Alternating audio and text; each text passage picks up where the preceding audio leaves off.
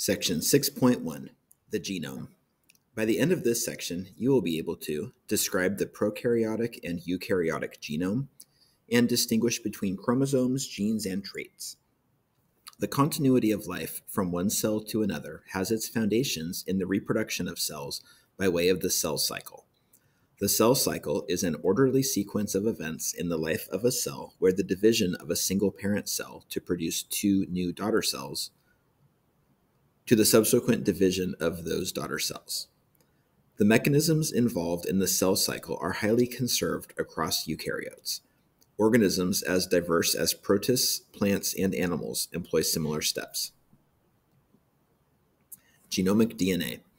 Before discussing the steps a cell undertakes to replicate, a deeper understanding of the structure and function of a cell's genetic information is necessary.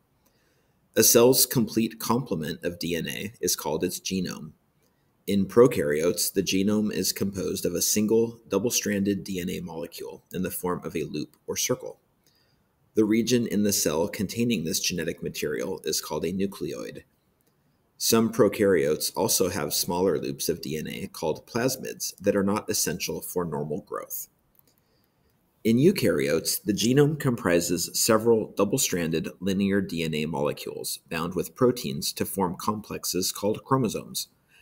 Each species of eukaryote has a characteristic number of chromosomes in the nuclei of its cells. Human body cells, somatic cells, have 46 chromosomes. A somatic cell contains two matched sets of chromosomes, a configuration known as diploid. The letter N is used to represent a single set of chromosomes. Therefore, a diploid organism is designated 2N. Human cells that contain one set of 23 chromosomes are called gametes or sex cells. These eggs and sperm are designated N or haploid. Figure 6.2 there are 23 pairs of homologous chromosomes in a female human somatic cell. These chromosomes are viewed within the nucleus at the top, removed from a cell in mitosis at right, and arranged according to length, shown in left, in an arrangement called a karyotype. In this image, the chromosomes were exposed to fluorescent stains to distinguish them.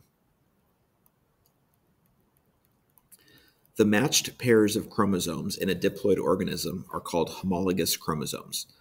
Homologous chromosomes are the same length and have specific nucleotide segments called genes in exactly the same location or locus. Genes, the functional units of chromosomes, determine specific characteristics by coding for specific proteins.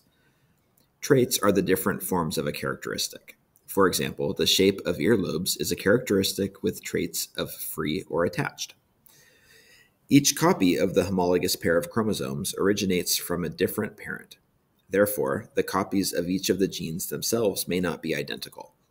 The variation of individuals within a species is caused by the specific combination of the genes inherited from both parents. For example, there are three possible gene sequences on the human chromosome that codes for blood type sequence A, sequence B, and sequence O. Because all diploid human cells have two copies of the chromosome that determines blood type, the blood type, or the trait, is determined by which two versions of the marker gene are inherited. It is possible to have two copies of the same gene sequence, one on each homologous chromosome, for example, AA, BB, or OO, or two different sequences, such as AB. Minor variations in traits, such as those for blood type, eye color, and height, contribute to the natural variation found within a species. The sex chromosomes, X and Y, are the single exception to the rule of homologous chromosomes. Rather than a small amount of homology that is necessary to reliably produce gametes, the genes found on the X and Y chromosomes are not the same.